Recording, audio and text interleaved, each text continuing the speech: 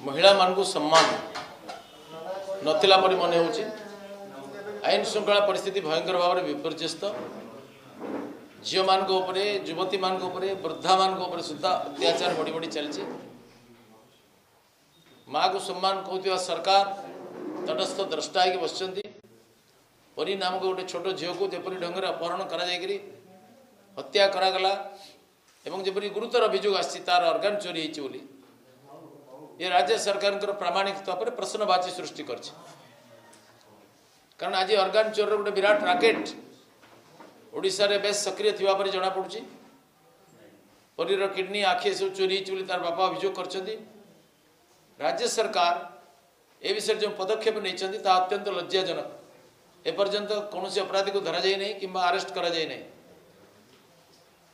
ରାଜ୍ୟ ସରକାର ଅନ୍ୟ ପକ୍ଷରେ ଏସ୍ଆଇଟି ଗଠନ କରିକି ଘଟଣାକୁ ଟାଳି ଦେବା ପାଇଁ ଚାହୁଁଛନ୍ତି ରାଜ୍ୟ ସରକାର ଭୂମିକା ଏଇଥିପାଇଁ ସନ୍ଦେହଜନକ ଯେ ଏ ଘଟଣାରେ ମନ୍ତ୍ରୀ ଅରୁଣ ସାହୁଙ୍କର ସମ୍ପୃକ୍ତି ବିଷୟରେ କିଛି ପ୍ରମାଣ ଜନ ତା ସାମ୍ନାକୁ ଆସିଛି।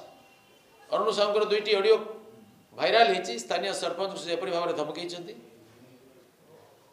ନେହୁରା ହେଇଛନ୍ତି। ସେଇଟା ମନ୍ତ୍ରୀଙ୍କର ଗୌରବ ହାନି କରୁଛି। କେବଳ ସେତିକି ନୁହେଁ ତାଙ୍କୁ ପରୀର ହତ୍ୟାକାରୀ ବୋଲି କୁହାଯାଉଥିବା ବାବୁଲି ଭୁବନେଶ୍ୱରରେ ସାକ୍ଷାତ କରିଛି ବୋଲି ମଧ୍ୟ ସେ କହିଛନ୍ତି। ଏ ଦୁଇଟି ଅଡ଼ିଓ କ୍ୟାସେଟ୍ ଉପରେ ସରକାର ସ୍ପଷ୍ଟୀକରଣ ରଖିନାହାନ୍ତି କିମ୍ବା ଅରୁଣ ସାହୁ ବି ସ୍ପଷ୍ଟୀକରଣ ରଖିନାହାନ୍ତି। ମାନ୍ୟବର ମନ୍ତ୍ରୀଙ୍କର ଏ ଘଟଣାରେ କ'ଣ ସମ୍ପୃକ୍ତି?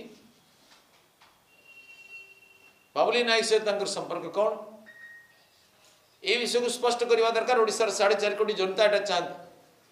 ସ୍ୱଚ୍ଛତାର ଡିଣ୍ଡିମ ପିଟୁଥିବା ଓଡ଼ିଶା ସରକାର ଏ ବିଷୟରେ ଜବାବ ଦେବାକୁ ପଡ଼ିବ ଆଉ ଭାରତୀୟ ଜନତା ପାର୍ଟି ଜବାବ ଆଦାୟ କରିକି ରହିବ ବିଧାନସଭାରେ ଆଲୋଚନା କରିବାକୁ ମଧ୍ୟ ଦିଆଯାଉ ନାହିଁ ଏଇଟା କ'ଣ ଏତେ ଗୋଟେ ଛୋଟିଆ ଘଟଣା ଇଏ କ'ଣ ଗୋଟେ ଗୁରୁତର ବିଷୟ ନୁହେଁ ଗୋଟାଏ ଡ୍ରାଇଭରର ଝିଅ ଗରିବ ଝିଅ ସେଥିପାଇଁ ତାପରେ ଏପରି ଅତ୍ୟାଚାର ହେବ ବାରମ୍ବାର ଏପରି ଘଟଣା ଘଟି ଚାଲିଛି ଇତିଶ୍ରୀ ହଉ ବେବିନା ହଉ କିମ୍ବା ପରି ହଉ କିମ୍ବା କୁନ୍ଦୁଲି ଘଟଣା ହଉ এসব ঘটনারে রাজ্য সরকারকর দায়িত্বহীন তা এবং ক্রিমিনাল এলিমেন্ট সহিত সহযোগিতার আভাস মিলুছে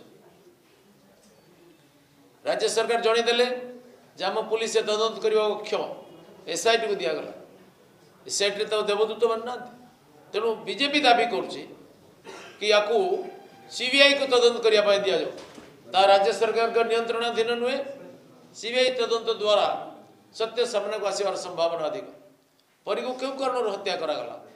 ବ୍ୟକ୍ତିଗତ ଆକ୍ରୋଶରେ ହତ୍ୟା କରାଗଲା?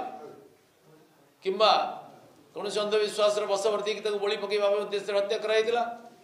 କିମ୍ବା ଅର୍ଗାନ ଚୋରି ପାଇଁ ତ ହତ୍ୟା କରାଗଲା? କିମ୍ବା ତା ପ୍ରତି ବଳାତ୍କାର କରାଯାଇକି ଘଟଣାକୁ ଚାପି ଦେବା ପାଇଁ ତାକୁ ହତ୍ୟା କରାଗଲା? କିମ୍ବା ଆଉ କ'ଣ କାରଣ ଅଛି?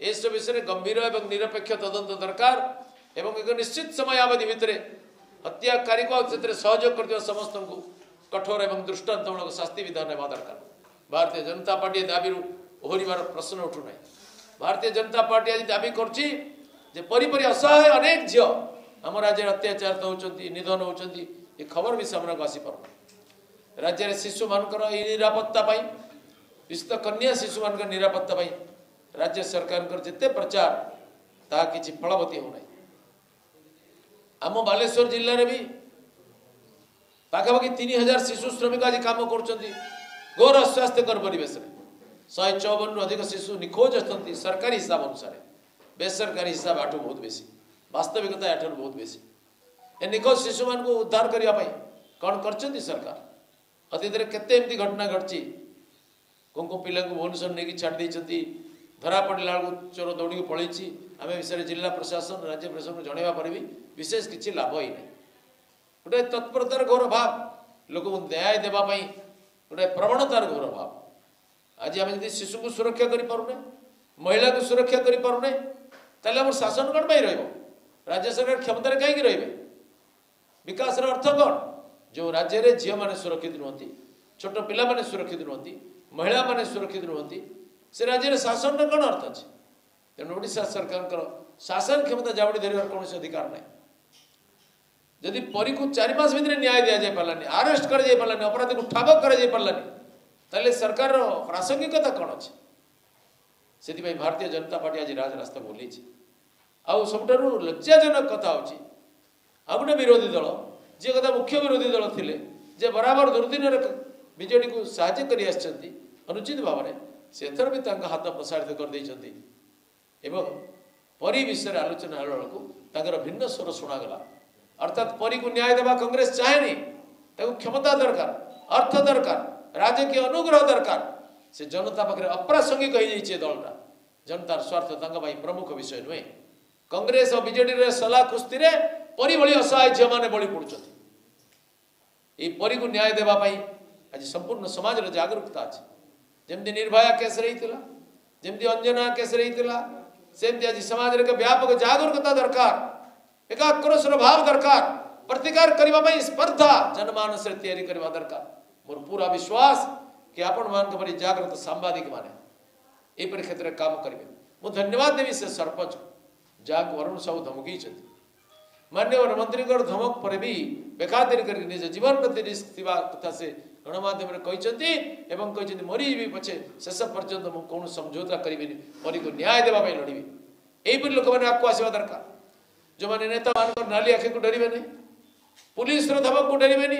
प्रशासन का अत्याचार को बेखातिर करके गरीब असहाय निष्पेषित दलित पद दलित मान को न्याय देवाई समाज को जागृत करेंगे संघर्ष करेंगे मुझे मध्यम वार्ता देवा चाहे कि राज्य सरकार को गोटे चेतावनी परी को जब न्याय दे पार तुम शासन गादी रही अधिकार ना मोर भरोसा नहीं कारण ರಾಜ್ಯ ಸರ್ಕಾರ ಇಂಥ ಜೊತೆ ಜೊತೆ ಘಟನೆ ತದಂತ ಆದರೂ ಬಹು ಕಮ್ರೆ ಫಳ ಮಿಳಿಸಿ ଆଉ ରାଜ୍ୟ ସରକାରର ଉଦ୍ଦେଶ୍ୟ ପ୍ରଥମରୁ ସନ୍ଦେହଜନକ କାରଣ ଏସ୍ଆଇଟିଟା ସେ ଅରୁଣ ସାହୁଙ୍କୁ ସେଭ୍ କରିବା ପାଇଁ ଯେ କରିନାହାନ୍ତି କେମିତି ଜାଣିବା କାରଣ ଅରୁଣ ସାହୁଙ୍କୁ ଏପର୍ଯ୍ୟନ୍ତ ଜେରା କରାଯାଇନି ତଦନ୍ତରେ ଅନ୍ତର୍ଭୁକ୍ତ କରାଯାଇନି ସେଥିପାଇଁ ମୋର ସନ୍ଦେହ ନାହିଁ ଯେ ରାଜ୍ୟ ସରକାର ଉଦ୍ଦେଶ୍ୟ ଉପରେ ମୋର ସନ୍ଦେହ ଅଛି ସେଥିପାଇଁ ରାଜ୍ୟ ସରକାରଙ୍କ ଦ୍ୱାରା ନିର୍ମିତ କୌଣସି ସଂସ୍ଥା ଉପରେ ମୋର ଭରସା ନାହିଁ କାରଣ ରାଜ୍ୟ ସରକାର ଏପର୍ଯ୍ୟନ୍ତ ତାଙ୍କର ପ୍ରାମାଣିକତା ଦେଖାଇ ପାରିଲେନି ଅରୁଣ ସାହୁଙ୍କୁ ବାବୁଲି ନାୟକଙ୍କୁ ନେଇକରି ଜେରା ବି କରାଯାଇ ପାରିଲାନି କ'ଣ ପାଇଁ ରାଜ୍ୟ ସରକାର ଅରୁଣ ସାହୁଙ୍କୁ ଏ ବିଷୟରେ ପଚାରି ନାହାନ୍ତି କ'ଣ ପାଇଁ କୈଫିୟତ ମଗାଯାଇନି କ'ଣ ପାଇଁ ତାଙ୍କୁ ତଦନ୍ତକାରୀ ସଂସ୍ଥା ଏପର୍ଯ୍ୟନ୍ତ ତଦନ୍ତ ଅନ୍ତର୍ଭୁକ୍ତ କରିନି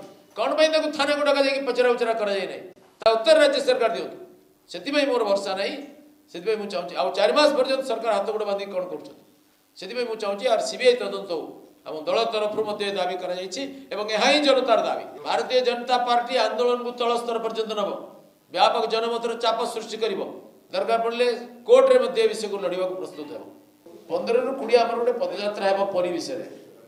ଏ ବିଷୟରେ ଆପଣଙ୍କୁ ସବିସ୍ତାର ଆମ ଜିଲ୍ଲା ସଭାପତି ଜଣାଇଦେବେ। କୋଡ଼ିଏ ଆନ୍ଦୋଳନ ତ ପଦ ସାରା ରାଜ୍ୟରେ ହେଉଛି।